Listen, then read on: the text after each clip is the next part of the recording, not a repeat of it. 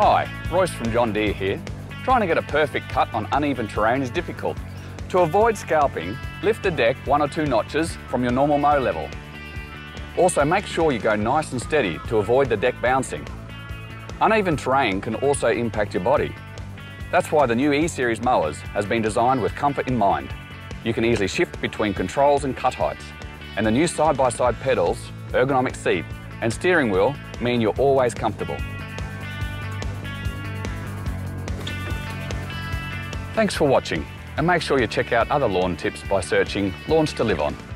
Make mowing easy with the new 100 Series Ride-On mowers. Easy to use and easy to own, like this E120 from just $33 a week and at 0% per annum finance. Visit us online to see the whole range of John Deere Ride-On mowers.